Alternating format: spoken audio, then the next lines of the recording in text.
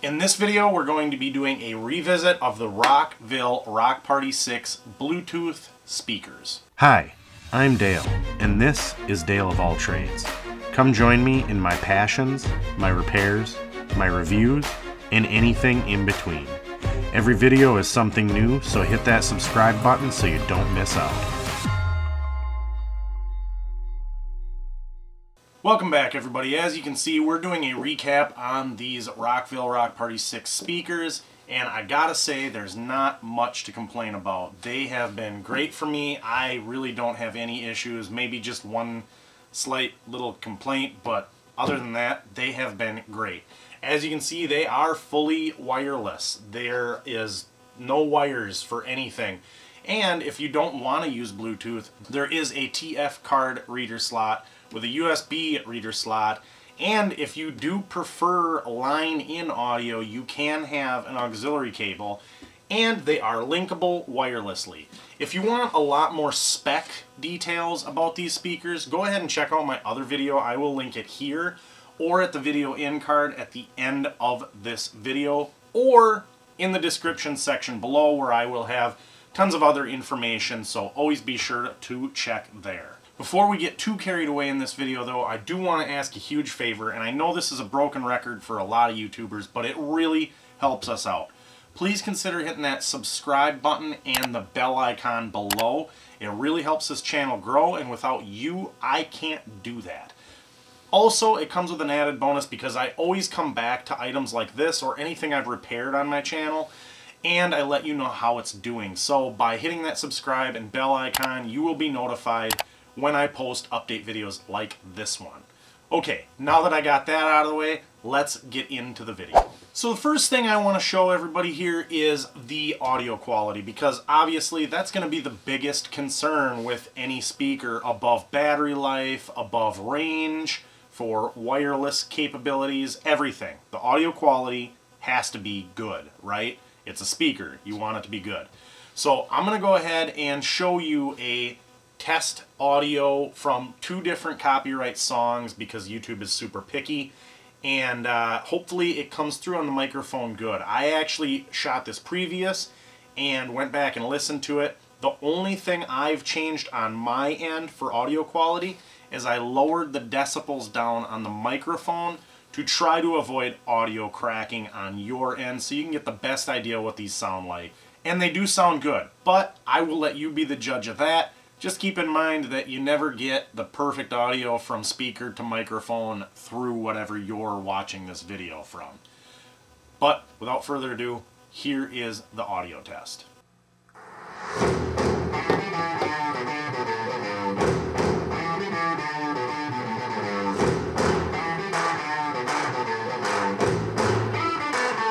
Again, you have a bass port on both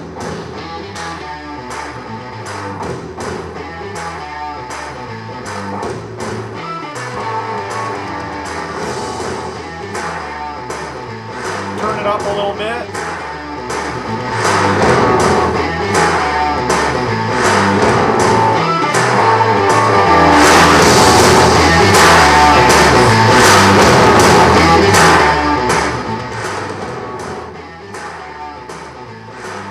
Definitely loud enough.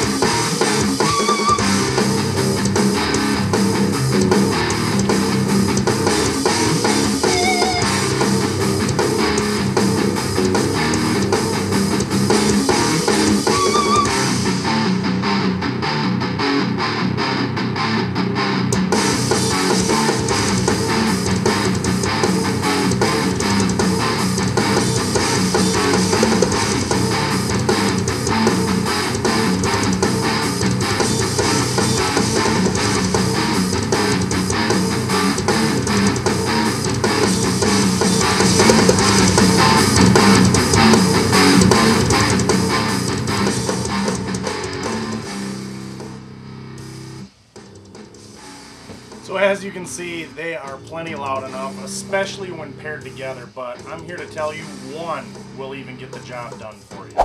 Okay, so that's what they sound like. I think they're super, super awesome. I barely ever even use them on max volume because it's actually almost too loud. Now, my only complaint about these it is an audio issue, and it is the only complaint, and it is the bass. I do wish they had just a hair hair bit more bass, it, it, just a little bit harder hit. And that is something hard to do when there's not an actual dedicated woofer. There's two speakers in here, and I believe they're kind of a mix between a woofer and a regular speaker. So again, it is hard to get a heavy bass hit. But overall, it is crystal clear audio quality. I've never had any cracking out issues or anything like that. And everybody that has been around them at parties or family gatherings, etc., they all agree that it is an awesome speaker and they want to get one too. I really love how they put these together. I like that they have tons of extra features. I also like that they have two microphone inputs for karaoke and I do eventually want to post a video of just these just doing karaoke, just a small little video to show how it works. They uh, have echo features, all kinds of stuff like that. You can control the microphone volume separate and the audio volume separate. So it's super easy to work with. You just hit the menu button, go through your options that way, and turn it up and turn it down. Also, both of them come with their own remotes. So if you lose one, they both work with each other. Uh, and the remote has even more options than the tower does. Another thing you could see during that audio test was the different styles of strobing that the accent lights do.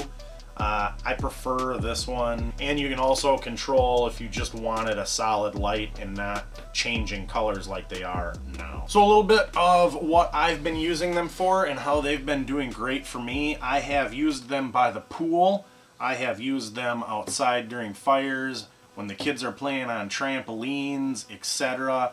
They are awesome for outdoors. Just keep in mind they are not waterproof, water resistant, anything like that. So if it were to rain when you're on outside events, I'd get them in as quickly as possible or at least make sure that they are covered. That being said, I did take these out on my boat for a boat outing um, to camp on a island. And I just took one because it was easy to just take one versus two.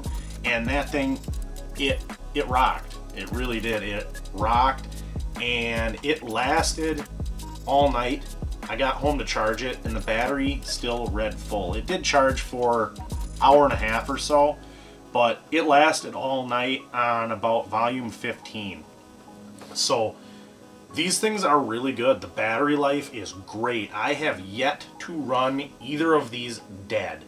They just don't die. I have played eight hours and they are good to go.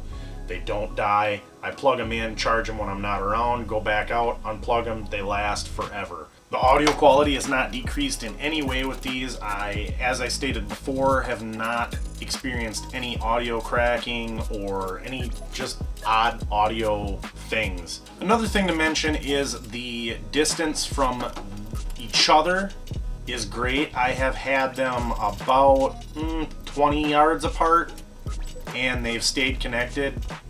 10 yards if there's a lot of obstructions, but they stay connected fairly well once they're linked by the TWS feature.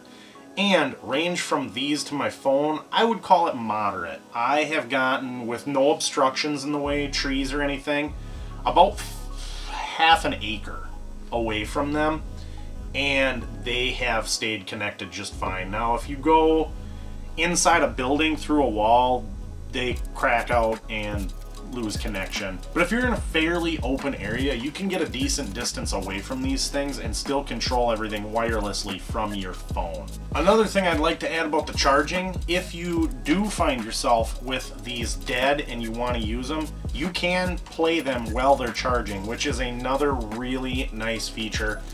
It just drives me nuts when these manufacturers make things in a way that you can't play them while they're charging, especially speakers, because We all know batteries are going to die eventually or even go bad. That's also another nice feature. If for some reason the batteries were to fail in these things, you'll still always be able to play them plugged in. So that was an awesome feature for me. I love being able to use things while they charge because you're never totally out of luck when it comes to being able to use them. Well folks, that's about it. I really don't have too much more to say about these because there's really no negatives behind them that I have seen. And if I do ever find a negative, one of them fails, something goes wrong, or they're just going strong like a year later, I will keep you updated on this. So as always, I hope you all enjoyed this video and it helped you out, and I will see you in the next one.